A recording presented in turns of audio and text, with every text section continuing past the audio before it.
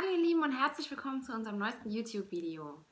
Ja, da wir ja auf Instagram die magische Zahl der 1000 Abonnenten oder 1000 Knöpfe erreicht haben, habe ich ja versprochen, dass ich dafür für euch ein neues Video erstelle.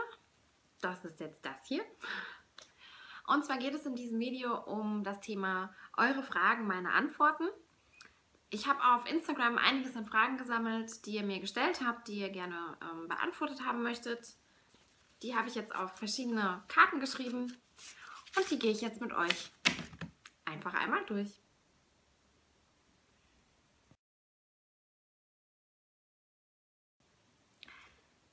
Ja, was ich da vielleicht erst vorweg sagen müsste, wäre, bei mir wird der Jim nicht immer ein Jahr älter am 1.1., sondern dann, wann er wirklich Geburtstag hat. Ja, der Jim wird jetzt am 13.03. dieses Jahr 19 Jahre jung, benimmt sich aber trotzdem immer noch sehr gerne mal wie ein drei- oder vierjähriger Macho. Ich, oh Gott, ich werde dieses Jahr meine erste drei vorne haben. Hm, gut, ich werde am 26.10. also 30.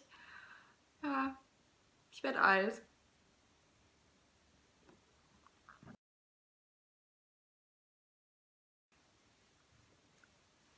Ja, wie groß ist der Herr Knopf? Der Herr Knopf ist 1,70 groß und ich bin 1,70, 1,71, also ungefähr. Ich habe mich schon lange nicht mehr gemessen. In meinem Pass steht lustigerweise, dass ich 1,75 bin, obwohl ich noch nie in meinem Leben 1,75 war und auch nie 1,75 werde, außer wenn ich High Heels anhabe.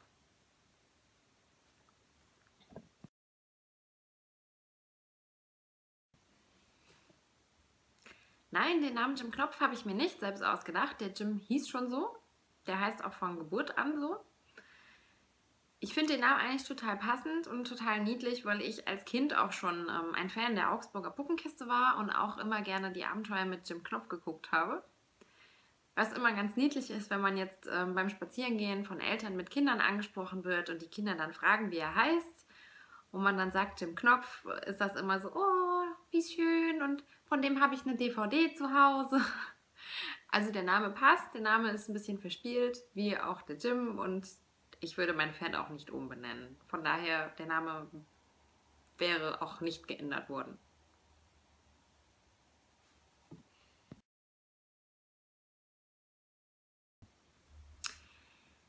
Ja, wovor hat der Jim am meisten Angst? Schwierige Frage, weil der Jim sich immer gerne mal anstellt und ähm, so tut, als hätte er Angst, obwohl er eigentlich sehr mutig sein kann. Was aber, glaube ich, am meisten ihm Angst macht immer noch, sind ähm, Traktoren und Regenschirme. Also Traktoren bessert sich immer mal, ähm, kommt auch darauf an, in welcher Situation der Traktor an uns vorbeifährt. Dadurch, dass bei uns am Hof öfter die Traktoren durch die Gegend fahren, klappt es jedes Mal besser. Also wir können auch schon an einem fahrenden Traktor vorbeilaufen, ohne dass er wieder die Bremse reinhaut und nach hinten abhauen will. Regenschirme ist jedes Jahr aufs Neue so eine Sache im Herbst. Ähm, ich übe das immer mit ihm und äh, so wenn ich den Regenschirm in der Hand habe, ist das alles auch gar kein Problem. Aber wehe, eine andere Person kommt mit dem Schirm um die Ecke, dann ist der Schirm ganz schnell weg.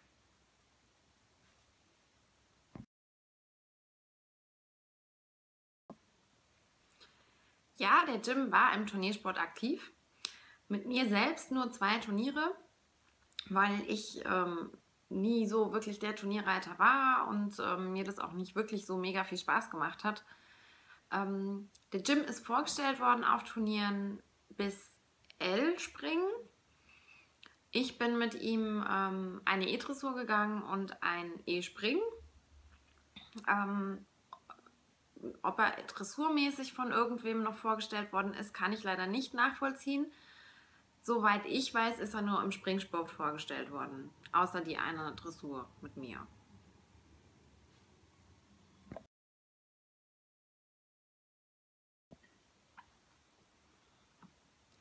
Der Jim bekommt dreimal am Tag Futter. Morgens und mittags bekommt er je eine Kelle voll Hafer und abends bekommt er eineinhalb Kellen Hafer. Natürlich gibt es dazu dann auch noch Heu, morgens und abends. Und ich fütter ihm immer nach der Arbeit noch was zu. Und zwar bekommt er einmal von mir ähm, Reformin. wobei das Reformin jetzt gerade leer war und ich ähm, stattdessen von Marstall gerade einen Eimer Forster habe. Ich habe nämlich beim Advent-Special einen Eimer gewonnen, wo ein Eimer Forst mit drin war. Das ist dem Reformin sehr ähnlich. Also Reformin ist ja mit, mit Mineralien als Zusatz. Das Forst hat ungefähr die gleichen Eigenschaften. Und dadurch, dass ich ganz gerne ein paar Mineralien zufüttern würde oder möchte, habe ich mich dann dafür entschieden, damals Reformin zufüttern. Jetzt, wie gesagt, habe ich gerade das Forst von Marstall, was ich auch wirklich sehr gut finde, von dem ich auch begeistert bin. Was natürlich schön ist, vorne drauf auf dem Eimer ist Jims bester Kumpel, der Firsty, drauf. Deswegen vielleicht bleibe ich jetzt auch bei dem Force, wenn das leer ist, dass ich das direkt wieder neu hole. Hinzu bekommt er noch Pellets mit Teufelskralle und Ingwer. Die unterstützen sein kaputtes Sprunggelenk, indem er ja den Spattbefund und den Knorpelschaden hat. Einfach als Unterstützung. Das Ganze mixe ich dann noch ein bisschen mit Müsli auf. Da wechsle ich immer. Momentan habe ich von Siegelhorst das Lieblingsmüsli. Das frisst er soweit auch ganz gut. Mal gucken, ob ich jetzt bei dem bleibe oder ob ich nächstes Mal wieder ein anderes nutze. Sonst bekommt der Jim im Sommer ähm, immer gerne noch was von mir, weil er da immer ein bisschen aufgebläht ist. Deswegen habe ich vor drei Jahren angefangen, ihm im Sommer immer Fenchel, Anis, Kümmeltee zu geben. Das hilft auch wirklich sehr gut. Ich hatte jetzt aber überlegt, ob ich das dieses Jahr statt Tee ähm, direkt als Kräuter ins Futter dazu mische. Weil nämlich das mit dem Tee aufkochen auch immer so ein bisschen Arbeit ist und da muss man das natürlich auch wieder ein bisschen abkühlen lassen, wenn es im Sommer zu warm ist, ähm, dass er es auch trinken kann. Ich hatte es eine Zeit lang mal probiert, mit Heukops das aufzuweichen. Das hat er auch super gerne getrunken oder beziehungsweise gegessen. Aber um einfach auch den Arbeitsaufwand für mich ein bisschen geringer zu halten, werde ich das dieses Jahr wohl mit Kräutern einfach mal probieren.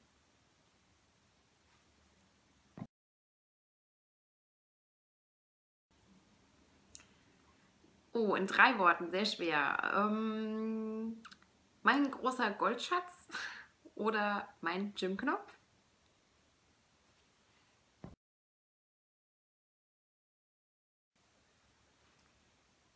Oh, da müsste ich jetzt ungefähr im Kopf einmal durchzählen. Also komplette Outfits, die wir kombinieren können mit Bandagen oder Gamaschen, sind es, glaube ich, zwölf.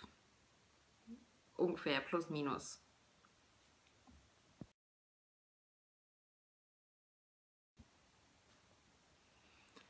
Ja, was hat es mit den Knöpfen auf sich? Ähm, ich finde, das Wort Abonnenten ist irgendwie so nicht schön, es klingt nicht schön und das ist auch so ein bisschen als so auf Abstand und ich finde, durch euch lebt meine Seite und deswegen hätte ich ganz gerne einfach einen anderen Namen für das Wort Abonnenten. Ich habe lange überlegt und bis ich dann einfach drauf gekommen bin, ich könnte ja auch Knöpfe sagen statt Abonnenten, weil das passt zu uns, das passt zu unserer Seite und ich finde, das Wort ist sehr niedlich und ähm, gibt euch auch einen besseren Bezug. Also ich finde, das passt einfach schöner, als wenn ich immer nur sage Abonnenten.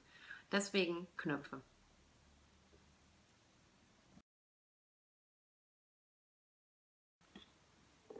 Ja, zu Gym gekommen bin ich 2007 im November.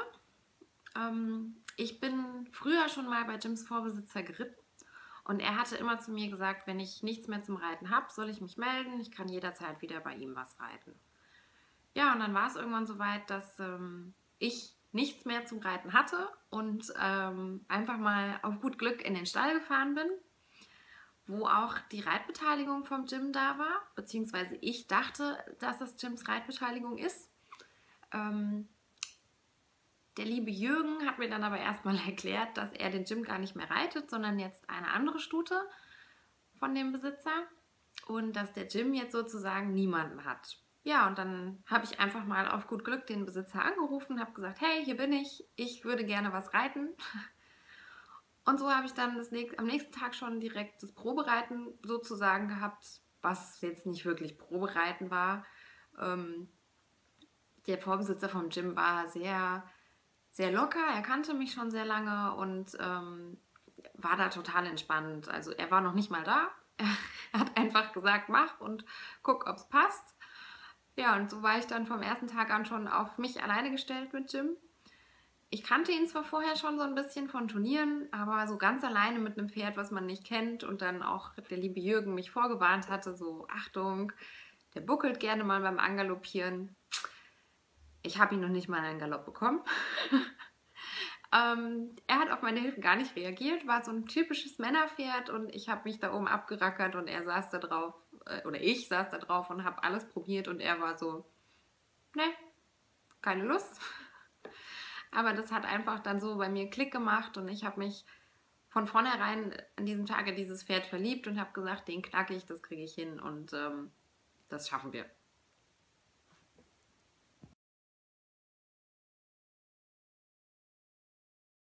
Ich habe Jim Knopf seit April 2008. Allerdings ist er schon seit November 2007 meine Reitbeteiligung gewesen.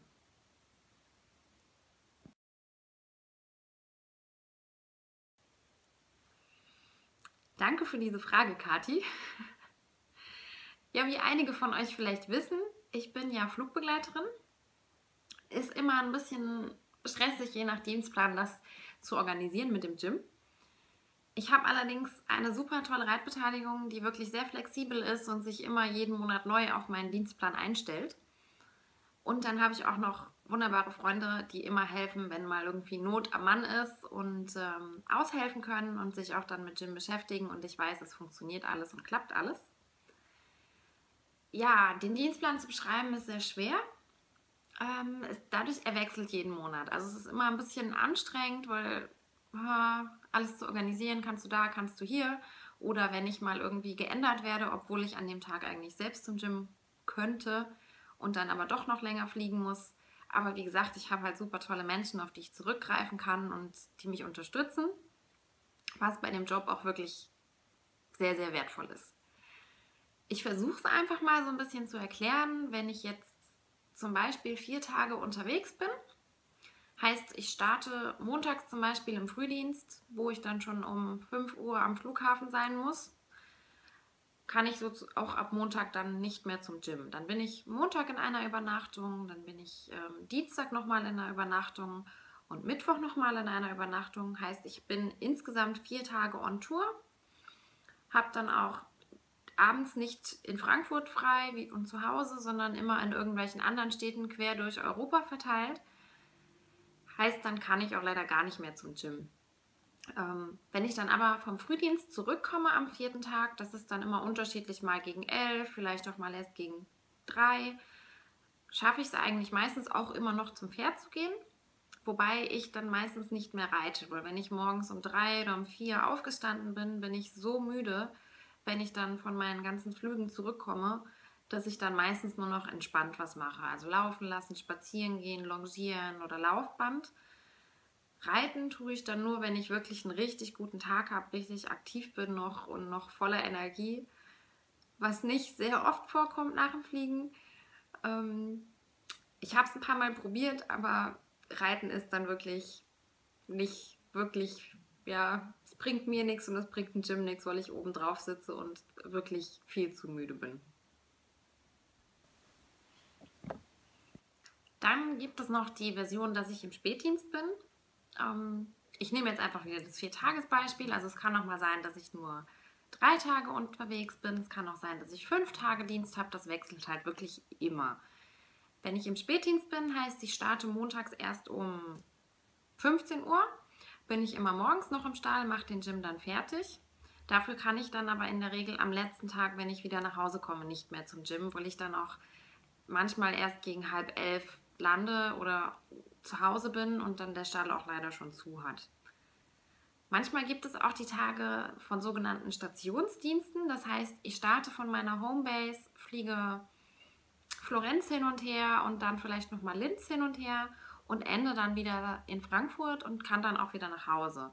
Das sind natürlich Tage, die sehr schön und angenehm sind, weil ich dann immer noch zum Gym kann, wenn ich nicht den späten Dienst dafür kriege und ähm, an denen ich dann auch zu Hause schlafe und meistens dann auch am nächsten Tag erst wieder spät rausgehe und dann halt selbst noch zum Gym kann.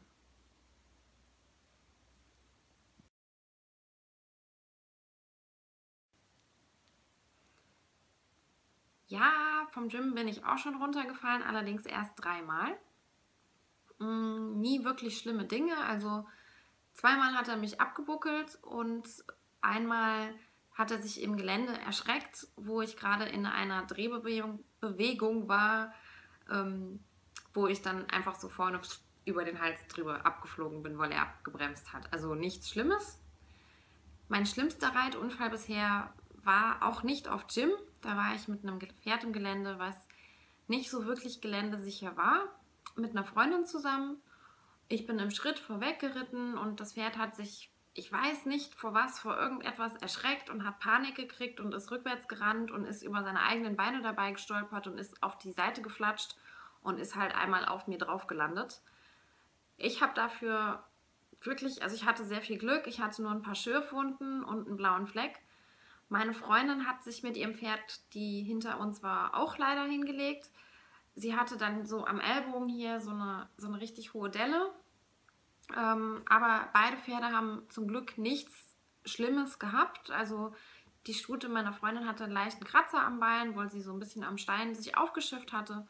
Aber sonst war nichts passiert. Es war halt nur, dass wir, also meine Seite hier war halt alles so offen und ähm, aufgeschürft, aber es war jetzt nicht so schlimm, dass wir hätten ins Krankenhaus gemusst. Das war bisher so das Schlimmste, was mir beim Reiten passiert ist. Also ich bin wirklich verschont geblieben von schweren Unfällen, von Stürzen, hatte noch nie wirklich, wirklich schlimme Sachen. Also ich weiß, dass ich als Kind auch einmal vom Pferd gefallen bin und wohl auf dem Rücken gelandet bin und dann überall auf dem Rücken wie so Spinnenwebenmuster blaue Linien hatte. Ähm, aber dass ich jetzt was wirklich Schlimmes hatte, toi, toi, toi, da bin ich von verschont geblieben.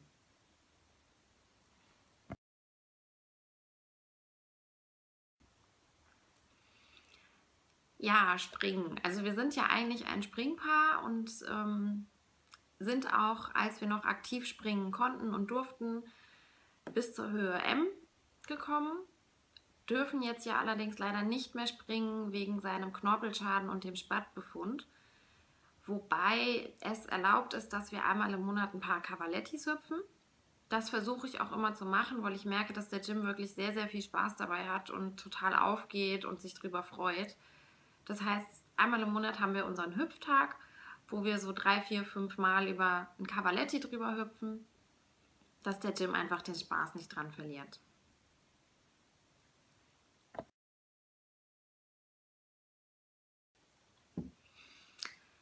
Schwere Frage. Ähm, ich liebe sehr, sehr viele Farben beim Gym. Eine meiner Lieblingsfarben ist definitiv die Ice Blue. Die Walnuss mag ich auch sehr gerne oder Walnut von Eskadron. Ähm ja, und sonst finde ich noch die Platinum wirklich sehr, sehr schön in Anthrazit aus der letzten Platinum Edition. Aber ich mag auch gerne ein paar knalligere Farben. Ich habe ein schönes Grün für ihn. Ich habe verschiedene Farben, die mir sehr gut für ihn gefallen. Aber Lieblingsfarben sind wirklich die Walnut, die Ice Blue und die ähm, Anthrazit Platinum.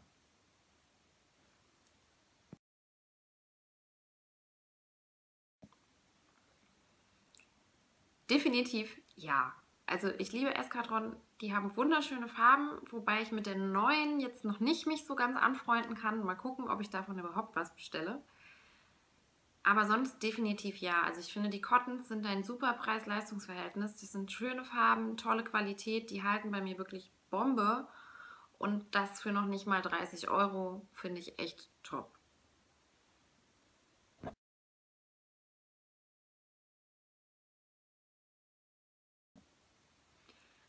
Ich habe insgesamt sieben Schabracken von Eskadron. Ähm, ich habe die Blue Brilliant, ich habe die Ice Blue Cotton, ich habe die Cotton Stone, ich habe die Cotton Petrol, ich habe die Cotton Walnut, ich habe eine alte Bordeauxfarbene ähm, Schabracke von Eskadron und ich habe eine Platinum Edition in Anthrazit. Wobei das ja noch definitiv nicht genug sind. Also, kann man überhaupt genug Schabracken haben?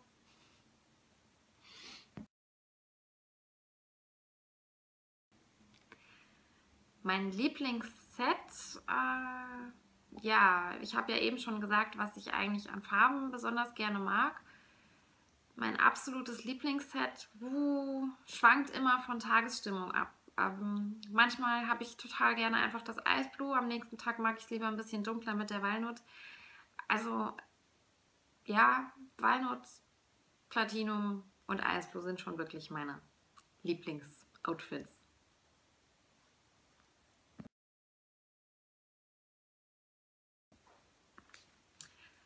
Reiten gelernt habe ich mit acht.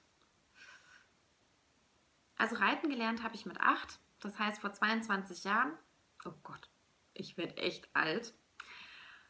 Reiten gelernt habe ich im Rollwald auf dem Katharinenhof. Das ist der Stall vom Richard Murmann, falls ihn einige vielleicht kennen. Mein damaliger Reitlehrer hieß Herr Daus, wirklich ein Top-Reitlehrer. Und Reiten gelernt habe ich auf dem Schimmelwallach Wilddieb, meine erste große Pferdeliebe. Was ich da noch vielleicht dazu erwähnen kann, der Stall ähm, vom Ritchie ist der Stall, wo auch der Jim mal gestanden hat, weil nämlich er der Vorvorbesitzer vom Jim ist.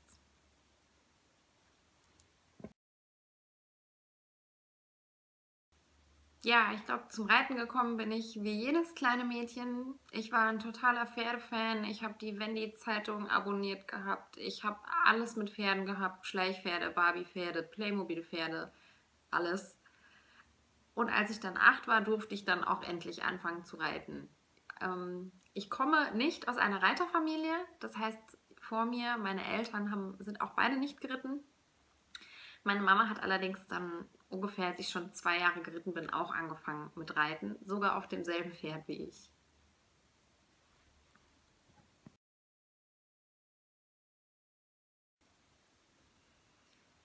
Nein, Turniere reite ich nicht, zumindest nicht mehr aktiv. Ich bin ein paar Mal Turniere gestartet, allerdings bin ich absolut kein Turnierreiter. Mir ist das zu viel Stress, vorher immer alles fertig machen, alles putzen, einflechten und dann dahin fahren, früh aufstehen und ist alles nicht meins. Also ich bin unheimlich gerne als TT dabei und helfe und unterstütze, aber für mich selbst habe ich irgendwie nie so den Spaß daran gefunden. Mit dem Gym bin ich ja, wie vorhin auch schon erwähnt, ähm, zwei Turniere gegangen. Einmal eine E-Dressur und einmal eine E-Springen, weil es war einfach so, einfach mal ein Turnier gehen mit dem eigenen Pferd und mal gucken, wie das so ist, ein bisschen Turnierluft wieder schnuppern. Und vorher bin ich ähm, ein paar Mal eine Dressur geritten oder einen Reiterwettbewerb und hatte auch schon eine erste E-Vielseitigkeit bestritten. Aber es war halt leider nie so wirklich meins. Deswegen bin ich kein aktiver Freizeit, äh, kein aktiver Freizeit, kein aktiver Turnierreiter natürlich.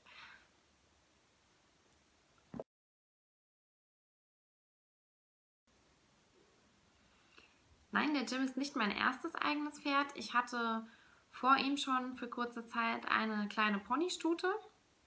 Smart Little Lisa hieß sie und war eine Scheck Ponystute mit blauen Augen. War eigentlich damals alles das, was ich nicht haben wollte. Stute, Pony, gescheckt.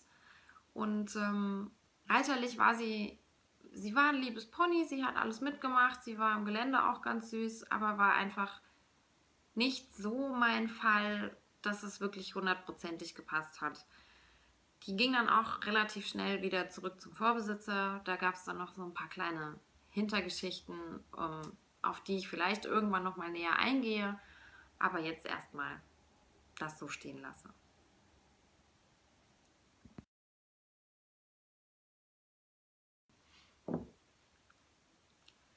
Ja, mein Traumpferd würde ich schon sagen, ist definitiv der Jim.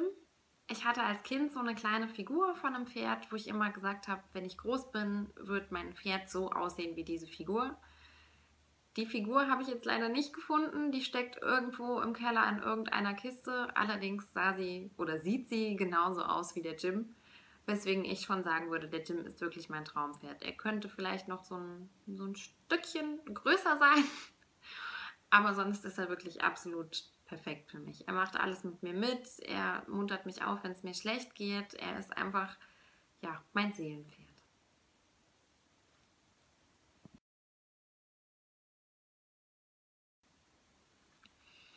Ja, um ehrlich zu sein, bin ich früher eine ganze Zeit lang auch immer ohne Helm geritten, weil das ja die coolen Reiter so gemacht haben.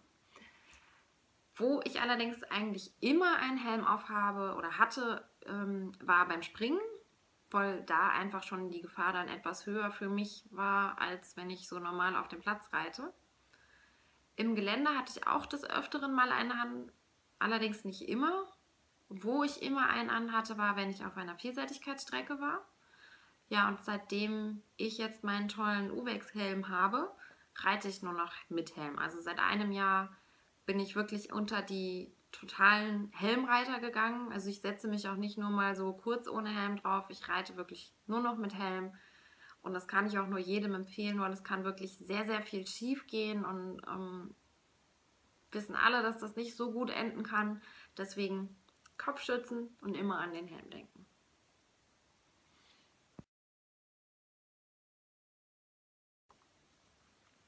Meine Lieblingssattelmarke, uh, schwer. Ähm, momentan würde ich sagen, ist das doch definitiv Prestige. Allerdings selbst habe ich keinen richtigen Prestige-Sattel. Ich habe den Grande CS Spezial von Steiper. Der wird, ähm, also ich habe verschiedene Geschichten zu diesem Sattel gehört, kann es allerdings nicht komplett nachvollziehen, ähm, weil mir das Internet auch nicht wirklich was dazu ausspuckt ähm, gehört habe ich, dass dieser Sattel in Italien von Prestige hergestellt wird und angeblich wohl auch dort unter einem anderen Modellnamen von Prestige vertrieben wird. Und in Deutschland wird er einfach von Steiper hergestellt und also nicht hergestellt von in Deutschland wird er von Steiper vertrieben. Man sieht auch an seiner Form, dass es ein Prestige-Sattel ist Allerdings, wie gesagt, ich kann nicht wirklich was dazu sagen, warum der hier so in Deutschland nicht unter Prestige läuft. Das ist nur das, was ich gehört habe. Ob das stimmt, weiß ich leider nicht. Falls ihr da irgendwelche anderen Infos zu habt, immer gerne her damit. Ich habe den Sattel von meiner besten Freundin übernommen. Das ist der Sattel von ihrer alten Dressurstute. Ähm, ja, die ist leider im Regenbogenland. Leisi, wir denken an dich. Ähm, ja, und dann, als ich damals gehört habe, dass ich nicht mehr springen darf, ähm, hieß es halt, ja gut, dann kann ich ja auch alles, was ich so an Sattel habe, weggeben und bin dann halt zu dem Dressursattel von meiner besten Freundin gekommen. Für mich als Springreiter ist es ein wirklich sehr, sehr schöner und bequemer Dressursattel. Ich habe ihn auch noch nicht so wirklich oft bei anderen Leuten gesehen und er hat auch wirklich die Prestige-Qualität und das Prestige-Leder und ich bin wirklich super zufrieden mit ihm. Mein nächster Sattel oder beziehungsweise Zweitsattel sollte aber schon gerne wieder ein Springsattel werden. Allerdings durch die Hochzeit sind jetzt meine Sparmaßnahmen erstmal auf Hochzeitskleid und ähm, Schuhe und das Ganze drumherum. Weswegen jetzt der Sattel erstmal wieder so ein Stückchen nach hinten gerutscht ist. Aber irgendwann hätte ich doch ganz gerne wieder einen Springsattel, am liebsten in dunkelbraun und ähm, auch einen Prestige mit der weißen Spitze. Welches Modell genau, weiß ich noch nicht so ganz, weil es zwei gibt, die mir sehr gut gefallen. Mal gucken. Irgendwann habe ich aber auch wieder einen braunen Springsattel.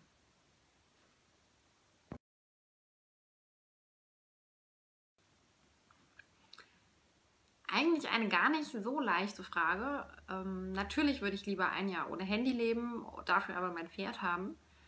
Wobei ich aber auch, wenn ich ein Jahr lang kein Handy hätte, keine schönen Bilder so mal für euch schießen könnte und das schnell online stellen könnte, weil das dann alles ein bisschen komplizierter wäre. Ähm, erstmal mit der Kamera in Stall und dann Akku aufladen von dieser Kamera und dann Bilder machen und die auf den PC ziehen und die dann da vielleicht noch nachbearbeiten. Deswegen ist mit dem Handy ist es schon um einiges leichter, aber ich würde definitiv lieber ein Jahr ohne Handy auskommen als ohne Pferd.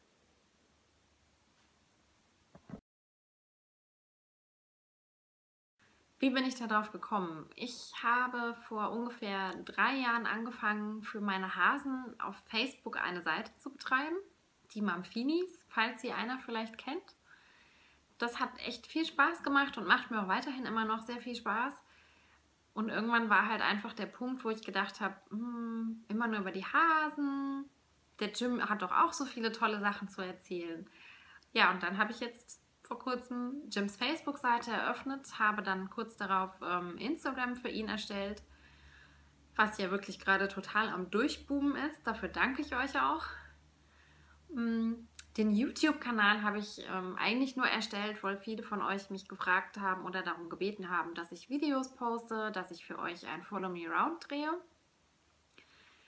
Deswegen habe ich diesen YouTube-Kanal erstellt, wobei YouTube mich echt wahnsinnig gemacht hat beim Account erstellen und mit diesem Google-Mail und weiß ich nicht, was man da alles aktivieren muss. Und oh, es war am Anfang ein riesiges Chaos und ich dachte nur, oh Gott, ich werde diese Seite nie nutzen. Wenn man denn dann mal alles einmal erstellt hat und einfach nur noch die Videos hochladen kann, ist die Seite soweit echt okay, wenn man nicht so wirklich tief in die Einstellungen noch so rein möchte. Von daher komme ich damit jetzt auch ganz gut zurecht.